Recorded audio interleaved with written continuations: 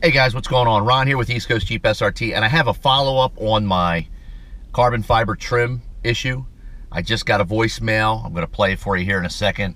Uh, if you remember a couple of weeks ago, I finally got it taken care of. I went in and ordered the parts, and they told me they would call me as soon as it came in. So the parts are in, and I know that because the FCA guy who's handling this case who I didn't even really need because the dealership took care of it on their own. But since I called them and, and uh, spoke to them prior to going to the dealership, he's following up with me. And I actually love the fact that somebody is following up with me. So here I'm going to play you the voicemail that I got. What I'll do is I'll obviously cut out his name and, and other uh, vital information. But I want you to listen to this real fast.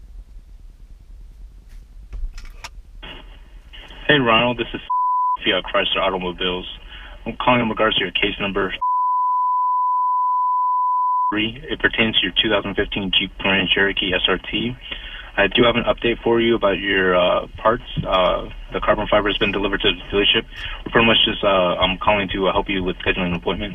If you could go ahead and contact the dealership and schedule an appointment, and uh, just update me at 844. My extension you could just update me with the appointment time, that'd be great. And I do want to thank you for being part of our SRT family. I hope you have a good night. Goodbye. Okay. That was the voicemail that I got today. Um, that's great. It only took two weeks. Uh, I would like to know how long it took for other people, so comment below and let me know. Uh, the gentleman, I don't remember your name, but you were asking me to keep you abreast of the situation and that you're the reason why I'm doing this update today, just to let you know that uh, two weeks. It's not bad.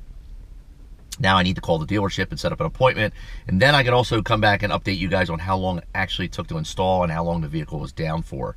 That's pretty much the update for this afternoon. Uh, like I said to the gentleman who was asking about how long it would take for the carbon fiber parts to come in, two weeks. And I will update you later on this week, uh, probably Friday. I'm hoping to call the dealership and um, set something up with them, and I'll let you know how long it takes. All right, so check back. That's all I got for you today. All right, guys, I'm out.